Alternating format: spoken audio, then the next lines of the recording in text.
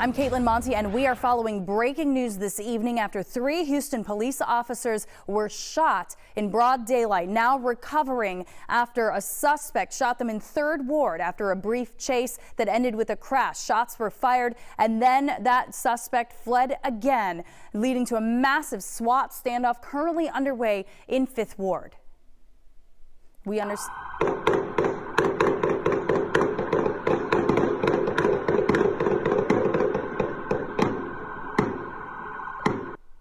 That was the scene. Those were the dozens of shots fired. And right now we are preparing to hear from Houston Police Chief Troy Finner, who is stepping up. The mayor also now speaking, Mayor of Houston. He'll be speaking in a few minutes. Uh, appreciate Chief Pena from the fire department being here. Uh, thank you, Congresswoman Sheila Jackson Lee, for being here. Co Councilmember Carolyn Evans Shabazz, and all of these men and women in blue, police officers. Kind of give you a, a brief update, and then, and then I'm going to turn it over to Chief, Chief uh, Finner. Let me just start off by saying uh, we are certainly praying for our police officers uh, who were shot today. Uh, I will tell you, uh, one was shot in the foot, one was shot in the leg, and one was shot in the arm. Uh, all of their injuries are non-life threatening. Uh, had a chance to visit with each one of them and with even with some of the family members. All three officers are in good spirits. All were talkative, uh, and we expressed, number one, uh, our support of them, how appreciative we are of their service, and how grateful and thankful uh, that their injuries were not a lot worse, because it could certainly have been a lot worse. So again, uh, all of them are in good spirits, and their injuries are non-life threatening. Had a chance to talk to all of them. Um, this has this has been a a tough week.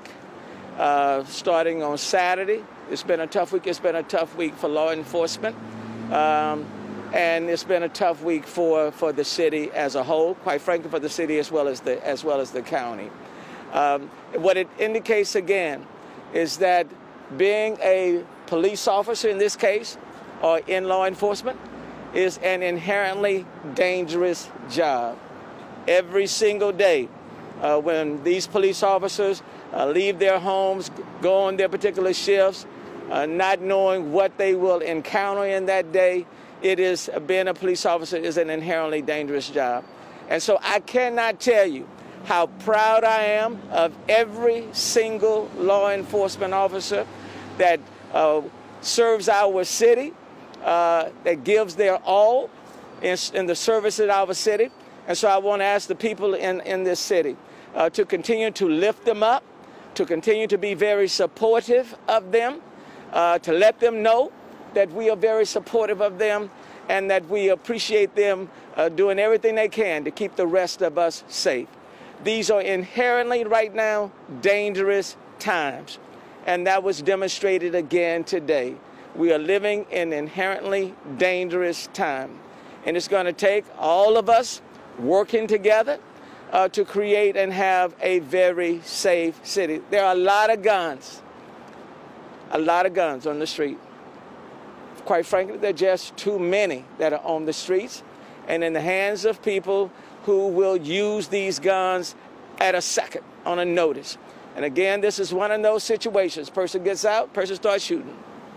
And now we have three police officers who are in the hospital uh, with, with, with, with gunshot uh, um, wounds. So uh, I want to continue to be supportive. Now, let me just say this. Uh, the chief and I, uh, on next week, uh, we'll lay out some additional steps uh, that we intend to take in this city uh, to, to do our part as a city to try to make this city a safe city in which to live. So next week, we'll lay out some additional steps. I won't go into those steps today. Um, but I'm going to ask people in this city uh, to work with police, to work with Crime Stoppers and others, uh, to participate in helping to make this city a safer city.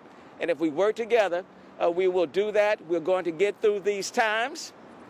And I know there's a, a lot of people are fearful right now, justifiably so, but, but we will get through these times. But in the meantime, please pray for these three officers uh, that their recovery will be very quick, they'll be able to get back um, on their feet and then get back uh, to their jobs in the line of duty, doing what they love to do uh, each and every day. Having said that, uh, Chief Finner, let me turn it over to you. Thank you, Mayor. Thank you, Congresswoman, Councilwoman, and uh, Chief Pena, uh, Union, and all other leaders. Thank y'all for standing with us. Uh, Mayor's hit on a lot of the points. I just want to say one thing. I want everybody, all our leaders, before I update you on what happened out here on this scene, no more excuses. Everybody, take an active role and get intentional in doing whatever you can do to fight gun violence in our city. Period. It's not really a difficult thing. Bad, dangerous people, it's a place for them, and that's in jail. But let me give you the update. So approximately uh, 2:42 p.m., officers responded to a residence on the 1500 block of Trulley Street. Uh, the suspect at some point spotted the officers. He took off in a vehicle. Officers pursued the suspect to McGowen and Hutchison Street. The suspect crashed. Officers, as they got out of the vehicle, the suspect immediately fired upon the officers, striking three officers. All the officers returned fire. It is unknown at this time if that suspect is hit.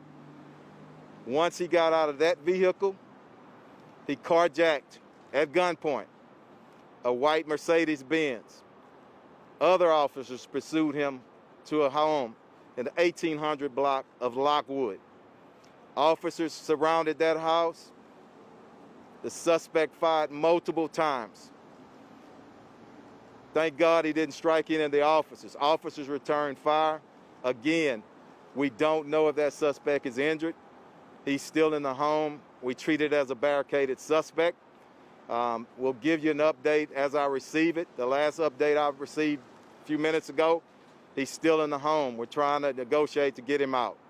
Um, we got two crime scenes. The officers who fired, they're going to be on administrative leave after they get out of the hospital. But the mayor said it. And we're just grateful to God that they're all right. It's been a tough week for law enforcement in our city. And the two, the two law enforcement officers that we lost, continue to pray for them and their family as we plan for their funerals. It is tough. When I received that call today, three officers down, and you don't know the condition. But I'm going to tell you, stand by your law enforcement officers. Stand by the justice system. And we're going to continue to work here in Harris County, Houston, Harris County, to make sure we're doing everything we can do. But we need help from everybody. And remember what I said. And this doesn't go for individuals who need treatment, suffering from drug addiction or mental illness. But these violent individuals, I'm damn tired of it. And we need to stand up as a community and do whatever we got to do. If that is to have more jail capacity, let's get it done. No more excuses. Questions? Before I'm sorry. the question, let me just say this. I do want to thank uh, the police officers who transported Yes. um, these wounded officers to Memorial. Hermann. And I want to thank the Houston Fire Department, Chief Pena, uh, for being right there promptly and for transporting officers uh, to Memorial Hermann. And then let me thank the medical team Yes. and the staff, the nurses, uh, the doctors uh, here at Memorial Hermann uh, each and every time. They do an exceptional job of going over and above providing uh, excellent medical care uh, to our officers, to firefighters, uh, to people uh, who find themselves in, in, in need of care. You just couldn't find a better place. So, you know, we took the time, in addition to thanking um, uh, firefighters and police officers, thanking the medical team and the medical medical staff. I do want to say uh, that you know we provided resources to uh, to the police department. Uh, we'll provide even more. It's going to take all of us at every level to step up and to do our part uh, to make this a safer city, and we and we will. We will make this a safer city. And we will provide uh, our police officers with all of the resources that they need. But I, I do want to say next week uh, that we will be outlining, uh, outlining additional steps uh, that will be taken uh, to reinforce uh, police officers and others who are out here fighting to make our city safe each and every day. But I do want to thank these police officers and firefighters and others uh, for being on the front line and for doing an exceptional job on behalf of the people in our city. Thank you, Chief. I'll give it back to you. Thank you, Mayor. Thank you. Thank you. Go ahead. Questions? What was the original call? How did they end up coming in contact? Just uh, some type of disturbance call, uh, out of family disturbance, possibly because it's at a residence, but it's still active, and uh, that's what I have at this time. Go ahead.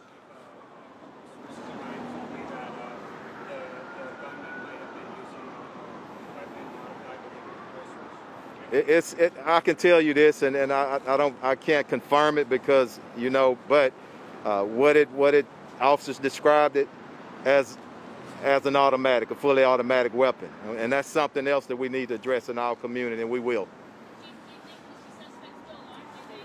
I'm not sure. I don't know. Um, um, they're still out, you know, trying to uh, negotiate with him and get him out, so we don't know at this time. No. Go ahead. Yeah. Give us one second and we're going to get through with these and then we'll do the, uh, yeah, okay? Hold up. Let, let this pass. Yeah. Confirmed there could be 50 plus shots fired. Is that?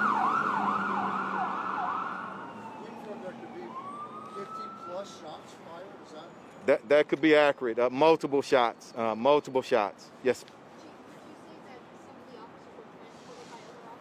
Yes, um, I I think two of our officers were self-transported by one of our patrol officers, and the uh, third was from HFD. Can she tell us about the condition of the person that was hurt yet?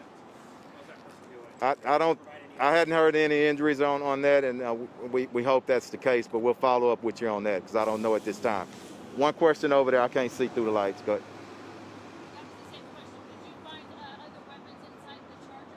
That's part of the investigation, and at, this point, I, I don't know right now. That scene's still active. Go ahead.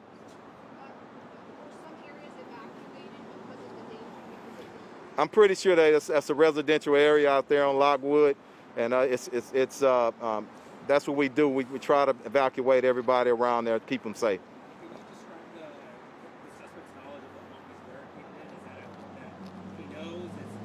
I'm not sure. I just can tell you it's a single residence uh, home, a one story, I think. Yeah. I don't have any suspect information right now. Nothing confirmed. Okay. I, I, I did get some reports that there were somebody, some uh, um, residents in the home, and they ran out uh, when he came. But we don't believe it's, it's anybody in there right now but the suspect. But we need to confirm that. So about potential hostages? Not at this time. Any more questions? Was the Lockwood address like a random place that he went to, or did he go there for? I'm not sure. Yeah, not sure, Randy. Thanks. Chief, chief, this callous disregard for the law, for law enforcement, the lives of law enforcement, what do you attribute that to? Hey, who, who knows? But I, I know one thing, Randy. We, we, we need to we need to address it, and we need to deal with those individuals. And one, one thing that people miss sometimes, it's not most of our citizens. It's a small group of individuals that's that's committing havoc. Our city is a great city with great people in it, and we're gonna stand up for them, and we're gonna find out a way to deal with those very few, very violent individuals. So thanks for that question. Chief, could you let us know about the ranks of the officers injured? Everybody is. Uh, I'll give you the. Uh, Three, four, and five. Three, years. four, and five year, they all officers from uh, Northeast. Thanks for asking. All right. Chief, if they continue to, you know, participate in the, in the shootouts after they were already injured? Let, let me tell you something. And that, that's what people need to understand about the great men and women on our police department. You have some brave officers that put their line on the life on the line every day. And I'm proud of them. And, and, and, and we, make no mistake about it, we release videos. And citizens are going to see the fight in them when they have to fight. Question for the mayor. You said that you're going to announce um, some initiatives next week. Are you talking to other cities? Because we know that this is happening across the country. It is happening across across the country. Uh, but I would tell you, I'm primarily concerned about what's happening in the city of Houston.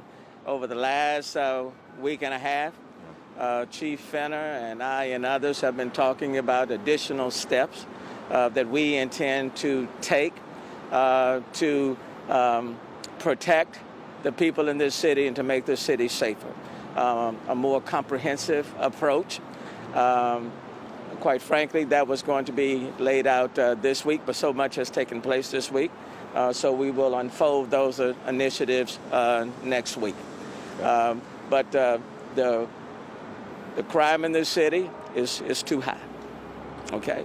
And it is important that we do everything on our part at the city uh, to combat that. Now, even everything that we will announce next week need to be augmented and, and supplemented by other levels. We have way too many cases that are backlog criminal cases, over 100,000. That's unacceptable. Okay? So there are many additional things that need to take place. But in terms of what the city can do, mm. what the city can do, uh, we will lay out those additional steps uh, that we intend to take uh, next week. I do want to acknowledge Doug Griffith, uh, head of HPOU, and, uh, and, and, and, and thank him uh, and, and the union for their collaboration um, all throughout this. But those initiatives will be announced on next, on next week. All right. That's it. Okay, one more, and we'll, we'll let uh, Chief, you want to translate for us? Okay. Yes, sir. Thanks. Where did it start? Uh, the street that it started? And it was around 3 o'clock, right? Yeah, 3 o'clock. Uh, Trolley Street. Trolley Street? Mm -hmm. Okay. Yeah, truly, truly. truly? Yeah. Up. Bueno, buenas tardes. Mire, este, estamos aquí para informar a nuestra comunidad que esta tarde, más o menos como a las 3 de la tarde, uh, All right, you were just listening to a press conference with Houston Police Chief Troy Finner and Houston Mayor Sylvester Turner giving an update on the scene that you see there in the large blocks, block on your left. That is at Lockwood and Lyons in 5th Ward, where SWAT and law enforcement presence is heavy. A suspect right now surrounded but barricaded inside of a residence, and people are being asked to avoid this area. Again,